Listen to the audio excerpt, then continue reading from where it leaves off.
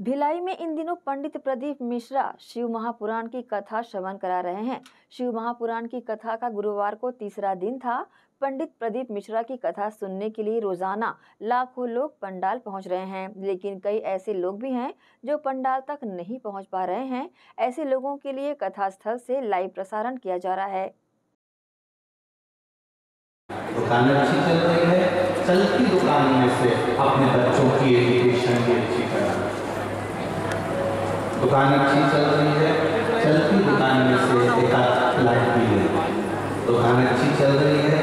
चलती दुकान में से थोड़ा थोड़ा अपने लिए भी जोड़ दुकान अच्छी चल रही है। चलती दुकान में एक आध गाड़ी भी ले लो। उसी तरह जैसे चलती दुकान में पत्नी के जेवर बना लो, चलती दुकान में प्लाट ले लो, चलती दुकान में ज़मीन ले लो, चलती दुकान में दुकान अच्छी चल रही है। तो तुम खरीद लो उसी तरह जब शरीर अच्छा चल रहा हो तो थोड़ा थोड़ा भगवान का भजन भी कर लो तो चले। दुकान अच्छी चले तो पत्नी के जेवर बनवा लेना, बच्चों के लिए थोड़ा जोड़ लेना, मकान बना लेना, दुकान बना लेना, अलग से गाड़ी बंगला सब बना लेना। जब दुकान अच्छी चले तो धीरे धीरे सब बना उसी तरह शरीर जब अच्छा चले, शरीर अच्छा चल रहा हो तो कथा तक भी चलेगा। शरीर चल रहा हो, क्योंकि कथा तक कोई जा सकता है, जिसका शरीर ठीक चले। गाड़ियाँ एक किलोमीटर, आधा किलोमीटर दूर छोड़ देते हैं, वहाँ से तुम्हें पैदल स्थल तक जाना है। तो ये काम अच्छे चले, तब तक कथा में चलेगा। नेत्र अच्छे चले अच्छे चले, तब तक कथा सुन लो जिज्ञा अच्छी चले, तब तक भगवान का भजन कर लो। और ये शरीर अच्छा चले तो दोनों हाथों से किसी की सेवा कर लो।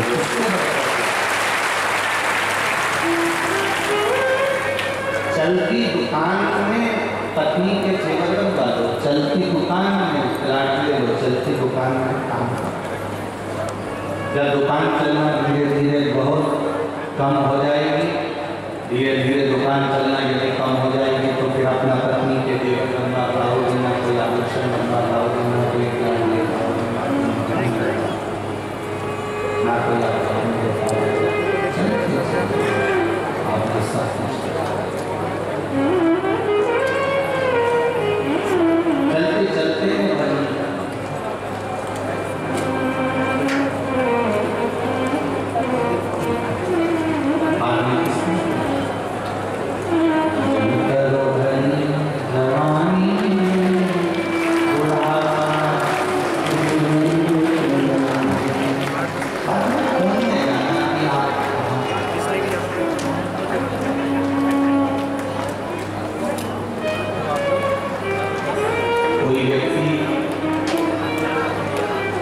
लोग कह देते हैं कि आप मंदिर नहीं जाओगे या भगवान का भजन नहीं करोगे, या दान नहीं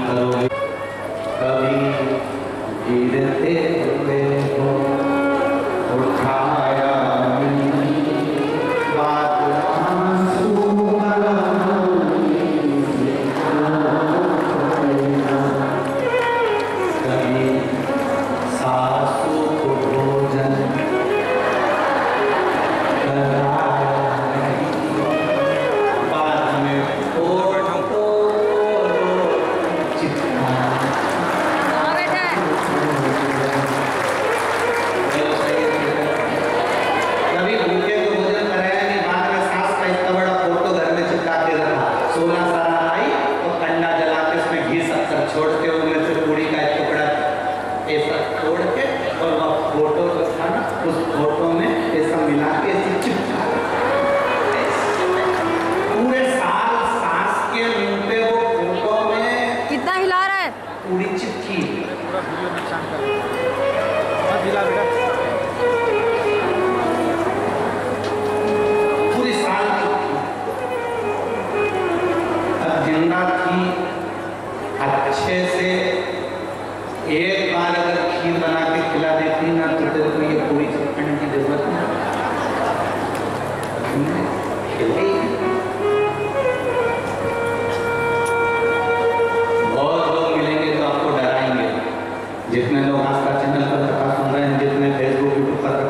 हैं जितने बिलाई नगर की इस पावन भरा पर कथा सुन रहे हैं, अच्छे से ध्यान लगाकर श्रवण करना। लाखों की संख्या में आप आए हो। विनोद जी ने प्रेम प्रकाश जी ने भिलाई का सबसे बड़ा ग्राउंड करा है इस कथा के लिए। और उनको भी अंदाज़ा नहीं था कि ये ग्राउंड पहले दूसरे दिन इतना भर जाएगा।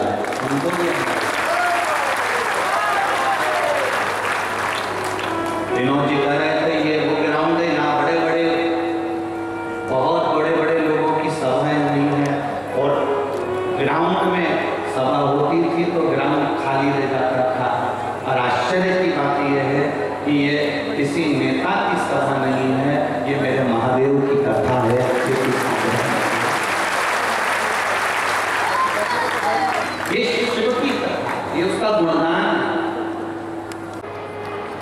चलती दुकान में से आप ले लोगे चलती दुकान में से आप लोगे चलती दुकान में से आप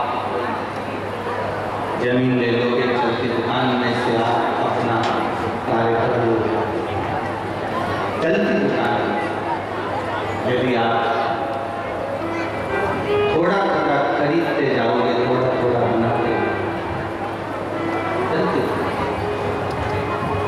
चलती दुकान में से थोड़ा थोड़ा बनाते चलोगे, उसी तरह चलते हुए शरीर से। चलते। भगवान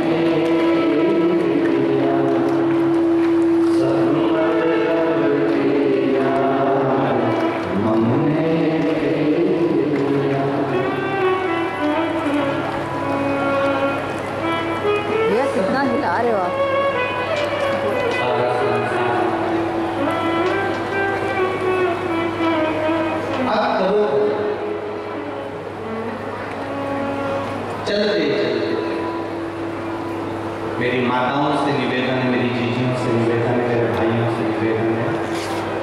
कोई तुमसे, तुम्हारे पति कहें, क्यों मंदिर में जाकर बैठी रहती है? मना कर देना।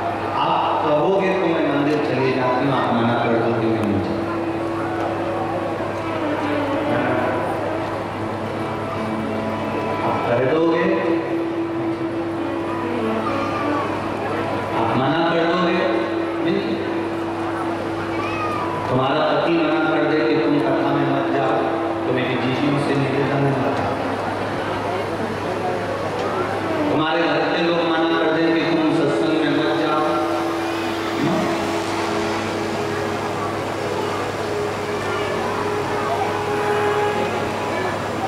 फिर वो मना कर